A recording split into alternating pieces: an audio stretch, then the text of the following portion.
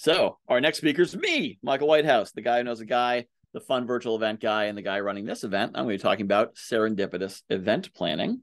And if you think I have an outline, slides, or notes, then you haven't been paying attention, don't know me very well, because I'm going to be sharing serendipitously some of the concepts that I use in running events, but I have run 22 of them, so I know a little bit.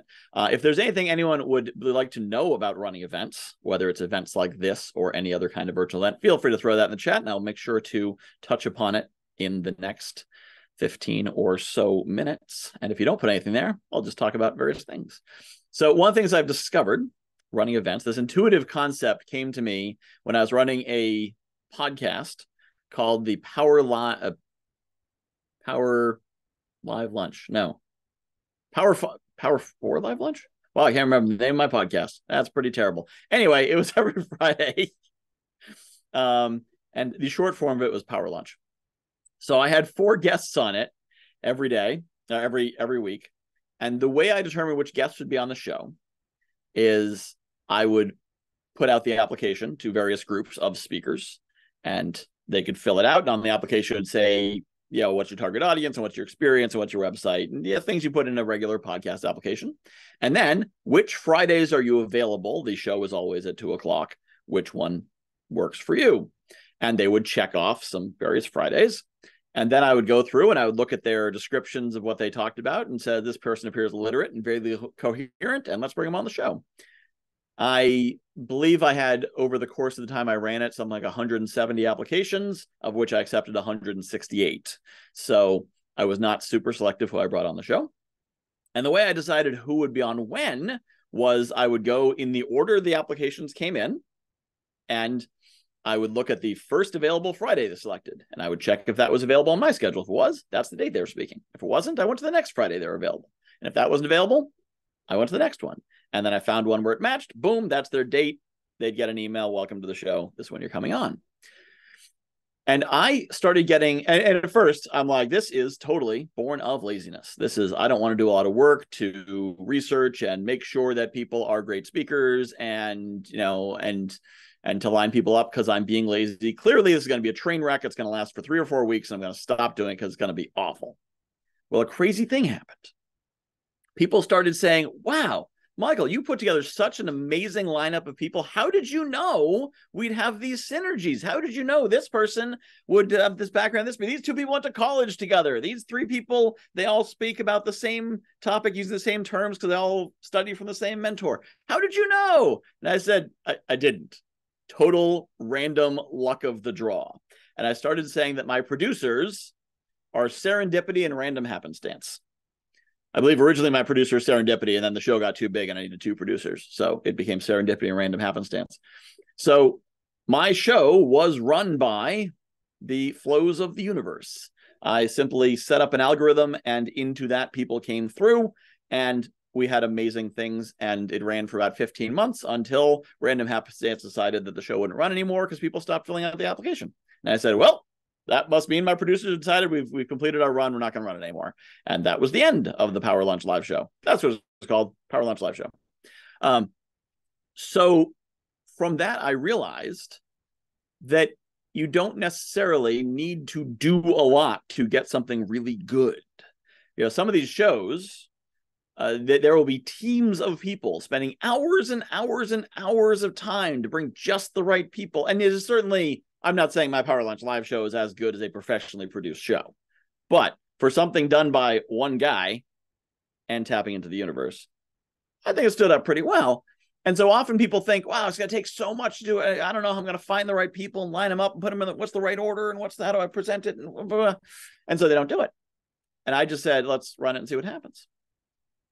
And then I started to discover that the same thing happened with these summits, including the one you're on, that I brought people into the space and good things happened. But that actually goes back to when I used to run sci-fi conventions. And I realized what is the quintessence of a successful event?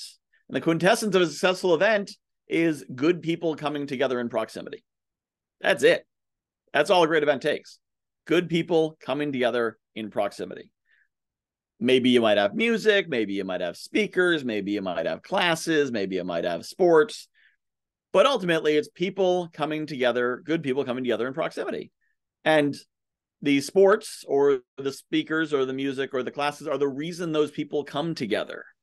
And once I realized that, it was much less stressful to run an event because if a speaker wasn't there, whatever. If a speaker wasn't good, whatever. If an event didn't go off right, okay. Now, if someone got hurt or something went wrong, we burned the hotel down, yeah, that's a problem. But most of the things that we worry about, oh, oh my God, what if this performer doesn't show up? What if this doesn't happen? What if that doesn't happen? And I realized running events that as long as you're open with people and you set the right expectations and you set the right energy and you're like, we're all here to have a good time together or we're all here to learn together or whatever, then no matter what happens, people are cool with it. Most event organizers will have a coronary if it gets to be time for a speaker to speak and the speaker's not in the room. Yeah, they're counting down. Oh my God, we're gonna have a speaker. Speaker's supposed to be on at two o'clock. They're not here yet. What are we gonna do? What are we gonna? The speakers. Uh, how are we gonna fill the space? Part of it's the structure. If you have back-to-back speakers, you suddenly have dead air, and you can't just pivot into a hot seat. Uh, so my structure is flexible, but it's also they're just thinking, oh, what are we to do? What, what, what happens? What if we don't have this? Instead of saying, all right, well, what do we have? We got a bunch of cool people in a room. What are we to do with 30 minutes with a bunch of cool people in the room? Let's do some good stuff. And once I realized what the the quintessence of a successful event was, it became much easier to run one and run a good one. And the thing that threw me off that the the red herring on this, remember, I'm running sci-fi convention since 1996. So I've been doing it for a while. But the red herring was all these people running events who are telling me, "Oh, we bring in 10,000 opt-ins and we make an average of $100,000 and we change the world and we cure a major disease every time we run an event." It's amazing. You got to see. And then discovering that for most of these people, they are full of crap. They don't do anything near those results. That's their marketing material. That's their sales pitch to people who pay them to run events. And I discovered this one when I hired one of these people and did not get anywhere near the results that were promised.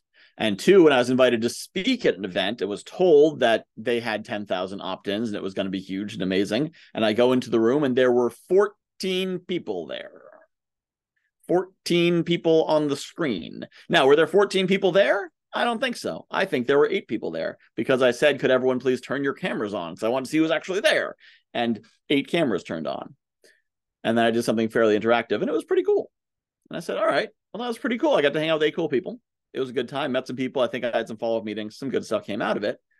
But it wasn't any 10,000 person event. Maybe they got 10,000 opt ins, just no one showed up. Or maybe they were making up the number. I don't know which. But thus, I discovered if I can have an event where 10, 20, 30, 40 people come together and some good things happen, that's great. Now, for an event like JV Connect, we need more than 30 people. We're going for 200 in the room because it's a networking event. And the deliverable is you're going to meet a lot of great people. So we need to have a quantity of great people.